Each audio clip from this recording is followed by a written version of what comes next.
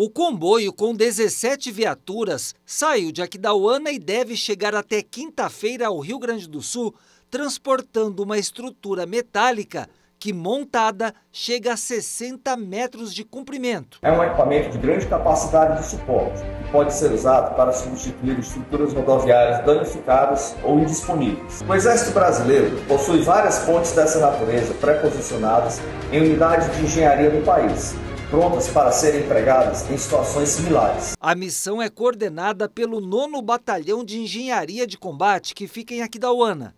A ponte pode ser montada e desmontada rapidamente. Além da ponte, o Comando Militar do Oeste enviou um helicóptero com uma equipe de busca e resgate.